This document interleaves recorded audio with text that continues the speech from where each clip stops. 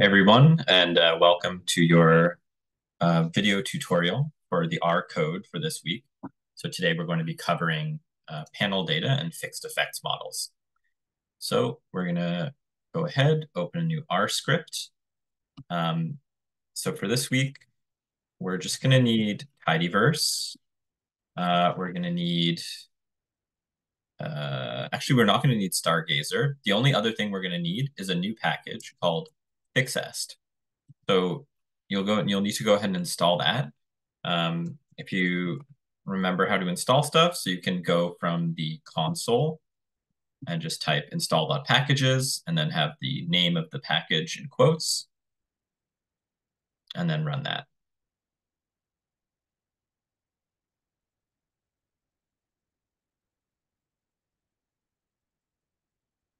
So the fixest package is going to be super useful for us. Um, because remember, the name of the uh, model that we're using this week is the two-way fixed effects regression. So fixed est, fixed effects estimation. That's going to be exactly the right uh, tool for doing this estimation. So this week we're going to be using uh, this violent crimes data. So uh, you can go ahead make sure we've got our packages uh, loaded up. Very good. And we can go ahead and uh, input that data. Call this violent crimes data. Um, just need to find your directory where you stored that data.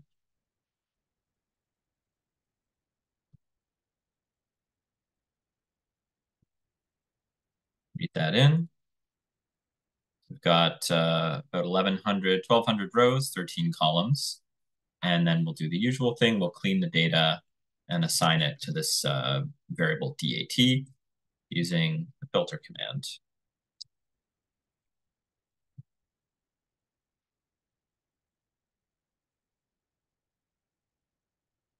Okay, so the question that we're wanting to answer uh, this week is um, what is the the first question where there's going to be two questions. So the first question is what is the effect of the incarceration rate so the kind of prisoner population uh, on crimes okay? Or in particular violent crimes. That's what we have data on in this data set.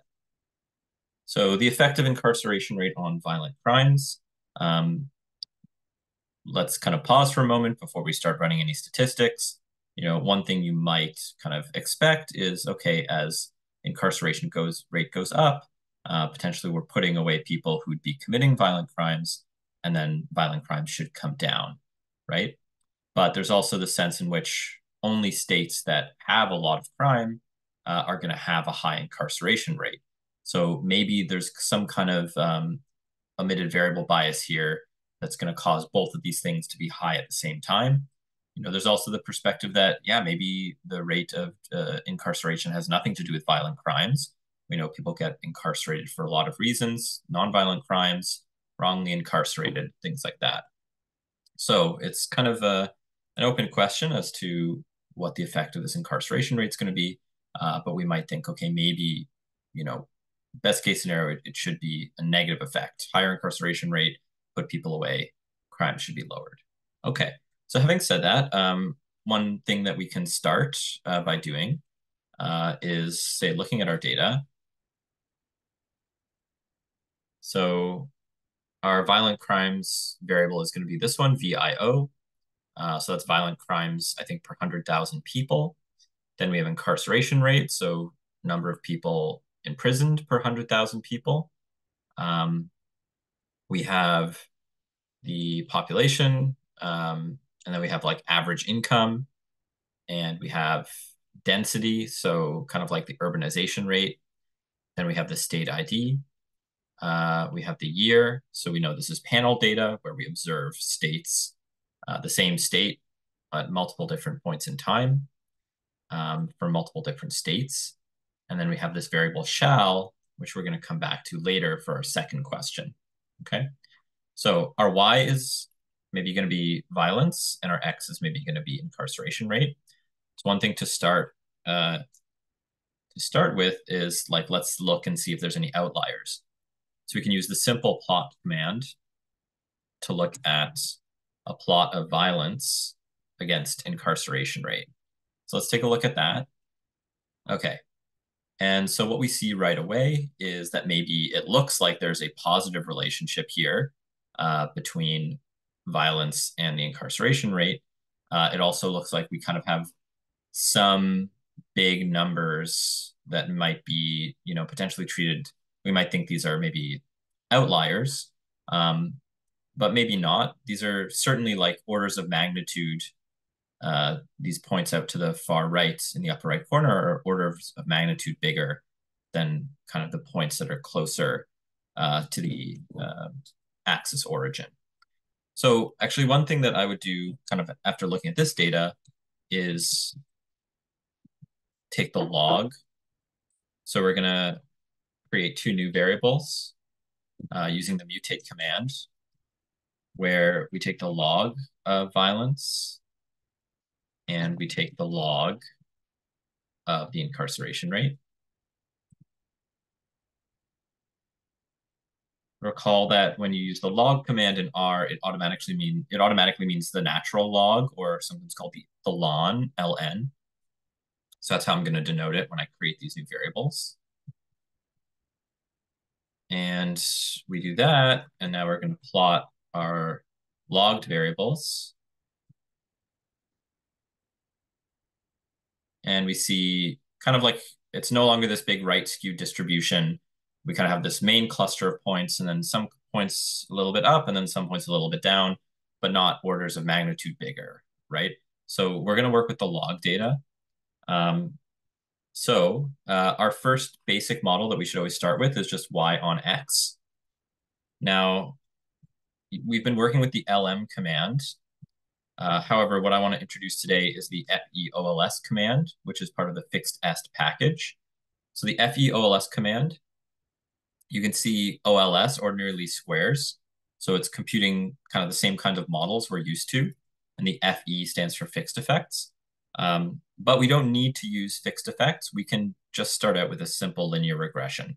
So we're going to do violence on incarceration rate. The data we're going to use is DAT. And now the cool thing about FEOLS also is that we can actually specify right in the command that we want heteroscedastic standard errors by specifying this argument vcov equals hetero. And so this will be kind of our, our first model. We should expect, based on what we're seeing in this plot, that there's going to be a positive significant coefficient coefficient on log incarceration rate. Okay. So the next thing we're going to do is what we learned to do last week, which is add in some controls. So we can add in average income. We can add in density.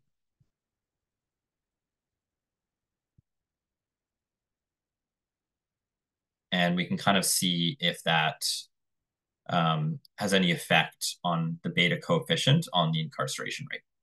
So let's take a look. Um, the fixest package has its own display command uh, for the regressions. So we're not using Stargazer here. The command is etable. And we're going to list out our two uh, regressions. And take a look at the outcome. Oop, gotta run that one first. Okay, so let's take a look here. Um, we see in the first simple OLS regression, indeed, there's a positive coefficient um, on incarceration rate. Because it's a log-log model, we interpret this as an elasticity. 1% increase in incarceration rate leads to a 1% increase in violent crimes committed once we condition on the average income and on the density, we see that the size of the coefficient comes down a little bit, but still it's positive, very strongly significant too, right? We see the ratio of the estimated coefficient to the standard error is way, way bigger than two, right? So we have a p-value that's actually here less than 0.1, okay? So then our last model will be what we learned to do this week, which is the fixed effects model. So we're going to include all the controls that we had before because when we kind of do models, we always want to be sort of building up. We don't want to sort of add one thing and then take away something else. So we're going to be building up. And now this uh, vertical pipe in the formula is going to separate the covariates from the fixed effects.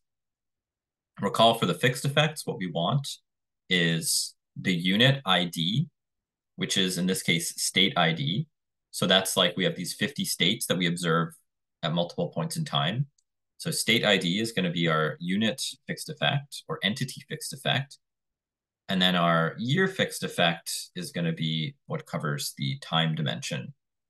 Okay, so that's all there is to it. We just have this vertical pipe, and then we add in state ID and year. We have data equals DAT. We continue with our heteroscedastic standard errors, and we run this regression. And now we take a look at our e-table again. So in the table, we can see we still have our main x variable. We still have our covariates. Um, now below that, we have two extra lines, which is denoted by this fixed effects heading. So state ID and year, yes and yes in our third col in our third column, um, denoting that yes, indeed, this is a fixed effect model in the final column. The kind of the e-table command is smart. It fills in, okay, there were no fixed effects in these previous um, models. So we're going to put no and no. And then um, everything else is kind of like as it was before. The really great thing or the interesting thing here is that once we include the fixed effects, actually the sign on incarceration rate totally flips. Now it's negative and significant, okay? So here we have an elasticity of if incarceration rate goes up by 1%, the violent crimes uh, per capita are going to go down by about um, 0.1%, right? Or sometimes people will interpret this as a 10% increase in incarceration leads to a 1% drop in violent crimes, okay? So the fixed effects have clearly captured something which is like uh, an omitted variable that varies kind of at the state level. Some states, for whatever systemic reason, tend to be high crime and high incarceration rate. Once we include a fixed effect that captures that unobserved reason, then we're looking within a state when there's more incarceration, does crime go down? And in this data, at least in this US data, the answer is yes. Okay. So uh, you can imagine all of kind of the different omitted variables that this state ID is capturing. Uh, you can also experiment and see, you know, is it state ID that's helping out uh, or is it the year, right? So let's say, okay, we have a fixed effect model that's only state IDs to start. Uh, that's reg three. And then our final full fixed effect is reg four.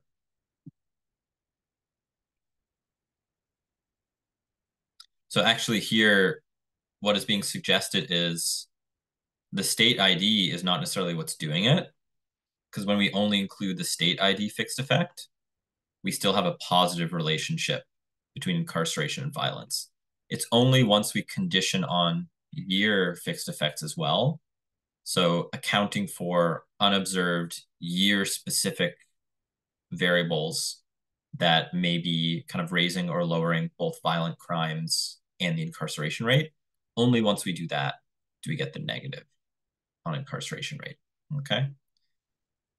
Awesome. So this is kind of the table of output that you should expect to have um, for your homework this week. And if you are going to use panel data on your project, then this is the kind of table of output I would expect there as well. Okay. Awesome. So let's ask one more question. Uh, and here I'm going to ask, what is the effect of uh, gun ownership on violent crimes? Okay. So in the US, there's this big debate, you know, which is absent from the rest of the world because I think we've kind of figured it out. Um, but in the US, they wonder you know, if we increase the amount of gun ownership, is that going to reduce violent crimes? Because maybe people will be scared to commit a crime if they know the person they're robbing might be carrying a gun. Okay.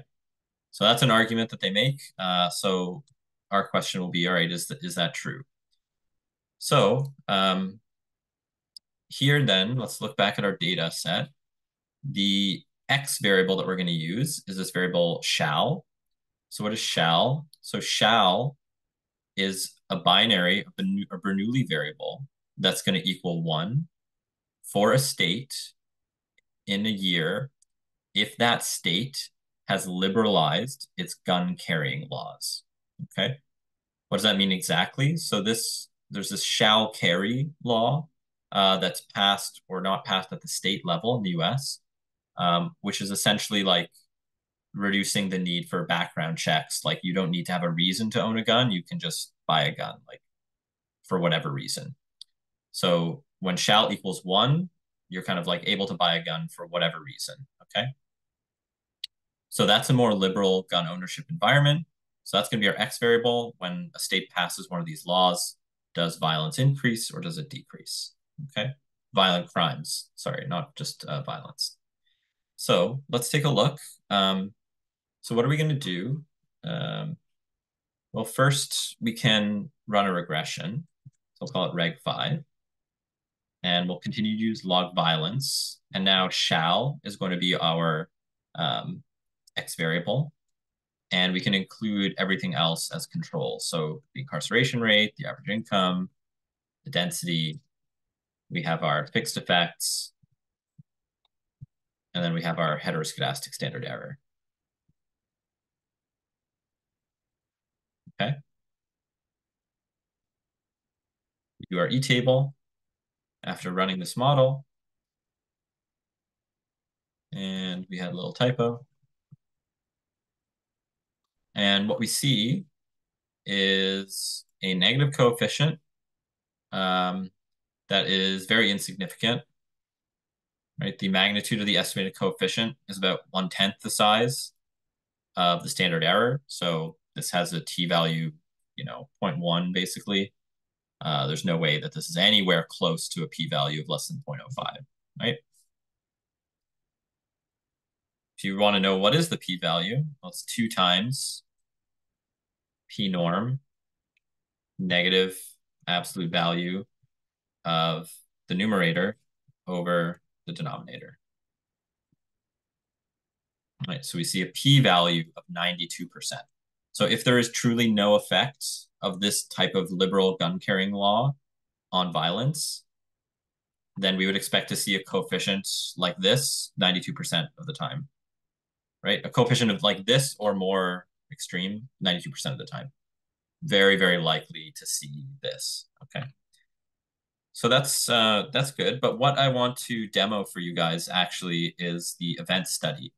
So remember in class, if you have a panel data model where the treatment is Bernoulli, where it, which it is here, then you can do this event study to assess parallel trends and look at the treatment effects um, in like a dynamic sense. Okay.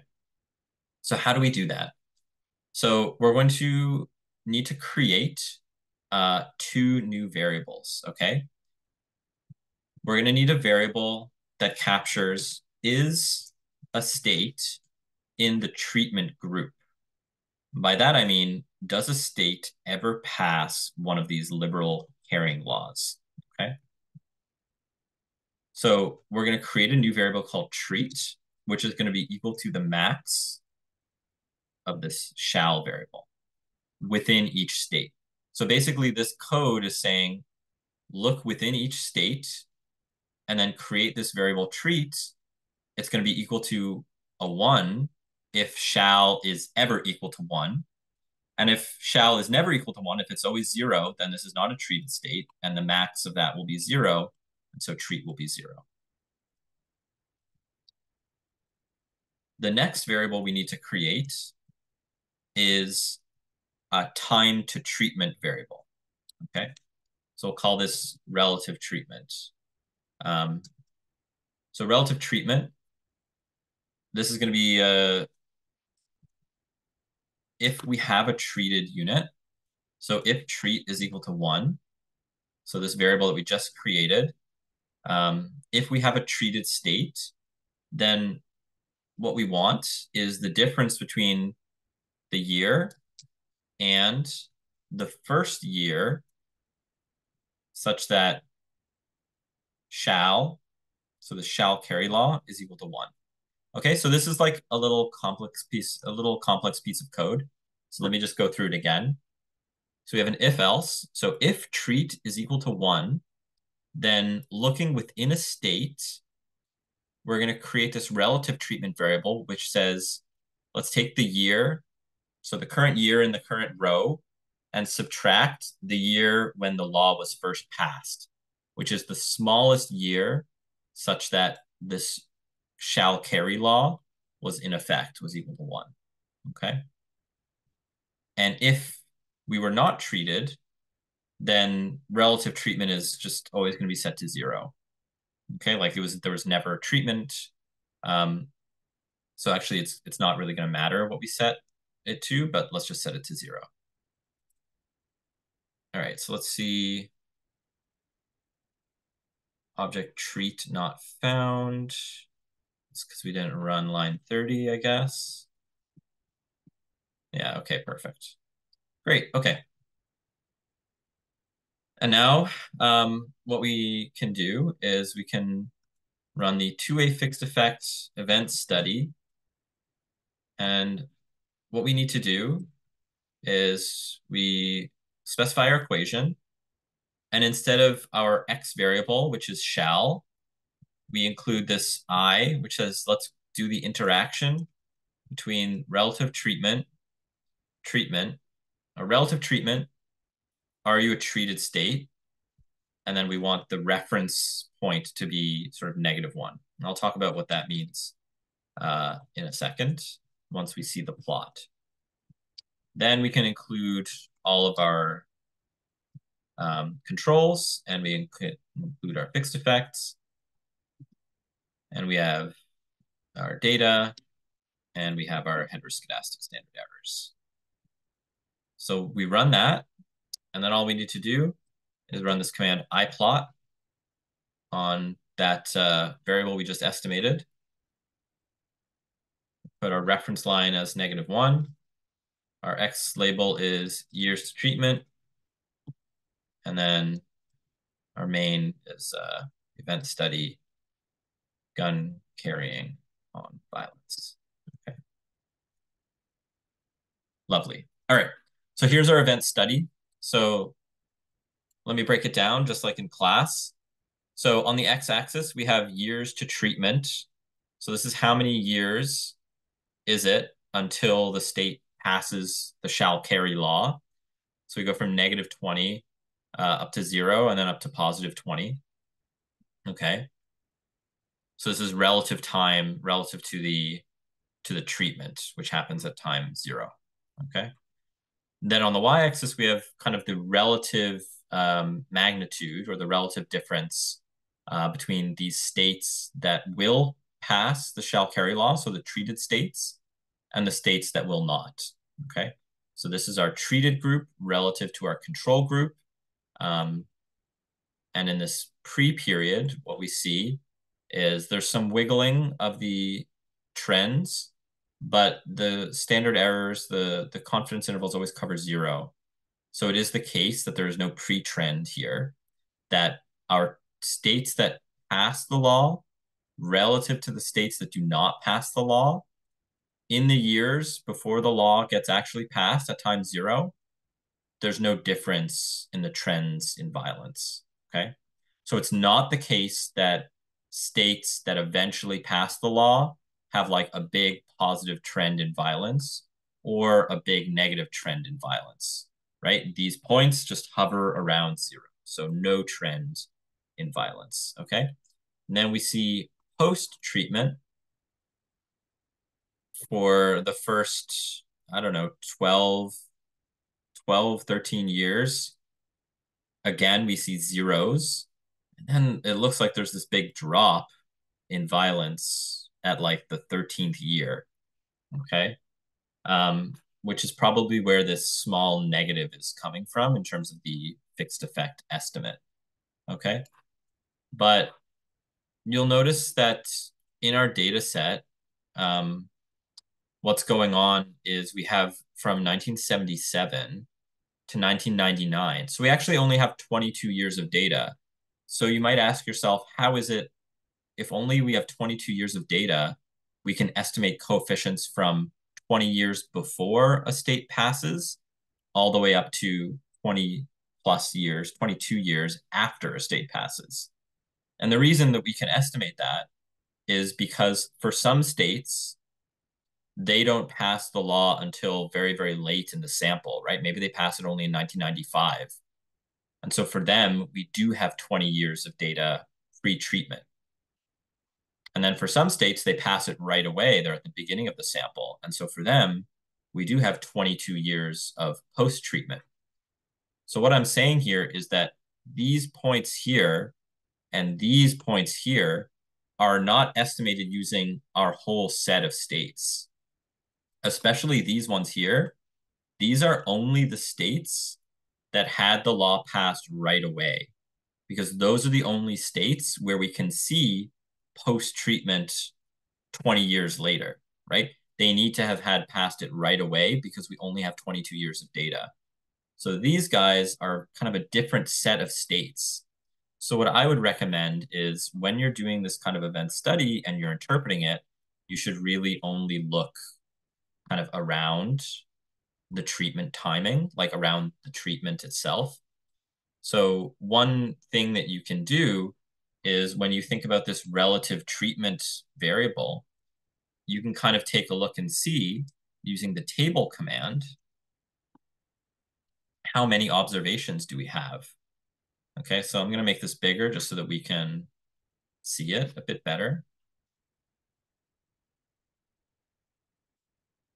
Let me rerun.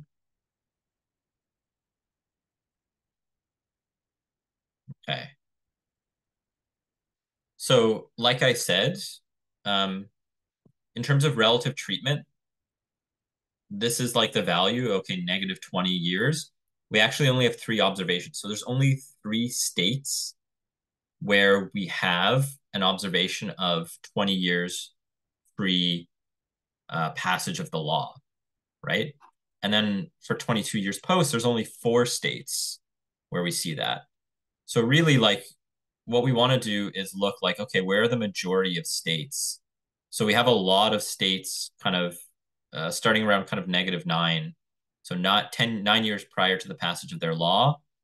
And then, you know, maybe up to like three years uh, post, we still have a lot of states. Okay.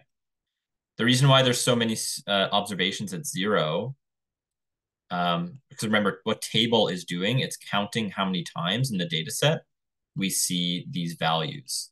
So for rel treat, it's like how many times do we see zero for this uh, variable? 535. That's because all of our untreated states, our control states, are all coded as zeros. Right? For negative one, we see it 25 times. That means there's 25 states where we see them the year before they pass the law. Okay.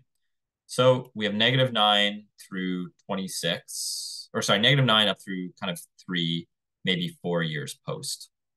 So what I would recommend doing is instead of looking at the full event study, uh, one thing that you could do is create a trimmed version of the data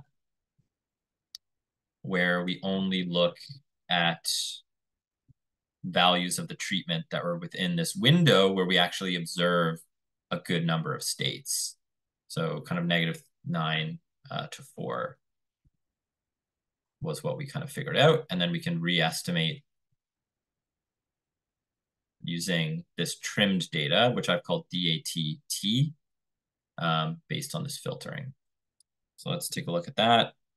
Yeah, and there we see, yeah, around the treatment uh, timing, it's basically flat, right? So now we kind of have like this little, what looks sort of almost like a little pre-trend uh, based on kind of these estimates being higher up here. Um, but really it's like around the treatment timing, it's flat. So this really looks like there's no pre-trend and there's no effect of these liberal gun carrying laws on violent crimes. So that's kind of the conclusion from this graph. So the no effect part says, yep, there's no effect of this policy. The no pre-treatment part says we can trust these estimates because it looks like before the states passed their laws, you know, relative to the states that never passed those laws, they were kind of on a comparable path, right? And They had the same trend. Okay. So it's not like they were diverging already even before treatment. So they weren't diverging. We can kind of trust it. Okay. So that's all the content for this week. Um, so we can save our code.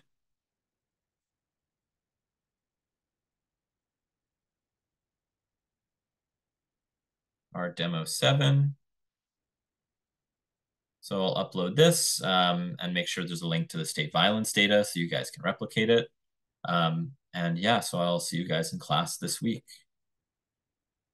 All right, take care.